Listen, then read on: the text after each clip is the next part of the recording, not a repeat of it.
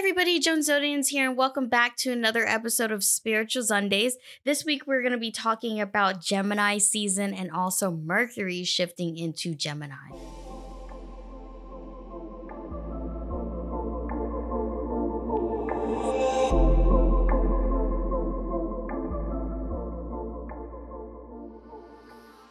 So Mercury is shifting from Taurus to Gemini on May 22nd, right?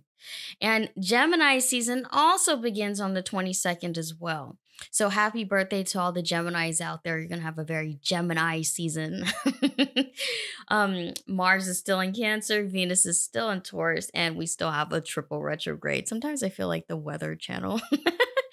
so let's bring it all together. What does it mean? Well, Mercury is the planet of communication, of intellect. It's how we process ideas, is how we receive ideas, right? So since it was in Taurus, we were more stable, we were more nourishing, we were we had a lot of boundaries, we were also very stubborn. Now that it's going into Gemini, we're going to find ourselves to be more open-minded, we're not going to be as rigid or stiff as we were in Taurus. But that also means that more of us are going to lose productivity, or we're going to feel more reckless or irresponsible, or more restless or more bored. And if you start to feel that way, then it's a good time to utilize Gemini's strongest energies where they're more creative, where they're more imaginative. So if you're into like art or writing or some kind of, you know, creative work, then this is also a good time to explore that in yourself or to develop those skills or to continue it. You know, I don't really know what you're doing. but if you're not doing any of those things, be prepared to feel like things might get a little bit more chaotic for you. Um or scrambled. Some people have felt that under a Gemini Mercury, they feel more scrambled or just loose ideas, meaning that they're not very grounded. They're just kind of scattered everywhere. So be aware of that kind of energy floating around too, especially if you do not have an air sign in Mercury, then it's not going to be complementary to you. Okay. Now, because we have Mars in Cancer and we have Venus in Taurus, we know that these elements are incompatible by nature. Air does not flow very well with earth, and it does not flow very well with water. Okay. So, this is the part where I tell you guys that in your relationships, you might start to feel a little bit more confused. Okay. So, it is always important for you, especially in your family with your or with your family and friends that those boundaries that you had in place under the Mercury Taurus that you sustain those boundaries during a Gemini Mercury too because you know Gemini Mercury is more forgiving and Gemini Mercury is also a provoker at the same time. Remember the double twins. This is a dual zodiac sign. So you may find yourself going back and forth with different situations where you feel like you can't come to a compromise or a conclusion or to find closure for a relationship or a situation happening in your life right now, right? On the other hand, if you're in the mood to forgive somebody, this is also a good time for that.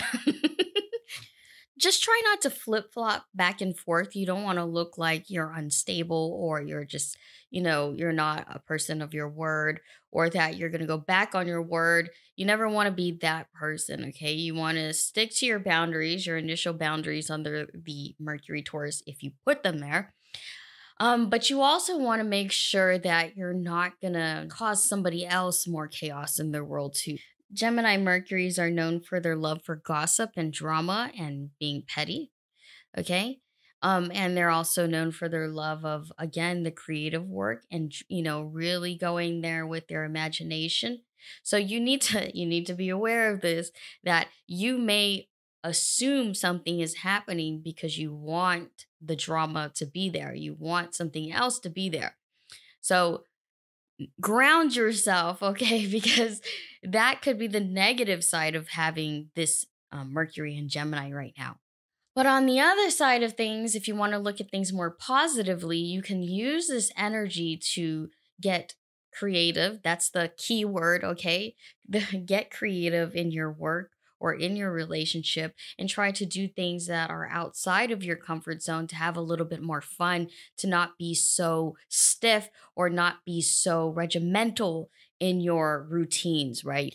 You may also find yourself to be a little bit more talkative during this time. You may find different ways of communicating that you haven't been able to do before, or, you know, really just dabbling in and out of multiple things. So give yourself permission to experiment or to, you know, try something new. This is a good time for that. And you may find that something will stick and may become long term because remember Venus is in Taurus and Taurus loves long term relationships or and it doesn't have to be relationships with people it could just be relationships with things. So try to not get restless and feed into all the drama and the gossip going around um in your personal circle but then also in your external circle as well um, or just even online. Try not to feed off the negativity. You don't want to be the evil twin of this of the Gemini. You want to be the good twin, the creative one, the one that is more productive or tries to find ways to, you know, not get bored or restless or to utilize their time in a more efficient and productive way. Make sense? So try not to feed off the egos of people or to fuel it or gaslight others. You don't want to be part of the problem. You want to be part of the solution. And it's just bad karma overall. You know what I mean? You know, you don't want that on you right now. Gemini Mercury or Mercury and Gemini, you can say it either way, lasts until the rest of this month going into the next month um or early next month, okay? So try to just hang on and and force yourself to remain focused on the tasks at hand and not get too chaotic in your life. If you find that you cannot ground yourself, remember to take a time out and to reflect and to meditate and to really get in tune with your energy again so you can realign yourself and refocus yourself. Okay, that's the most important thing. So remember to ground yourself, ground your energy, even though it may be difficult to do that under a Mercury Gemini. I mean, you could do it, everything is choice.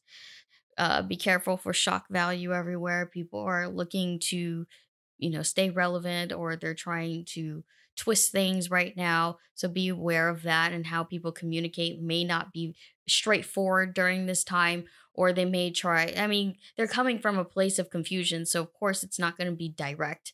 So be careful of that too.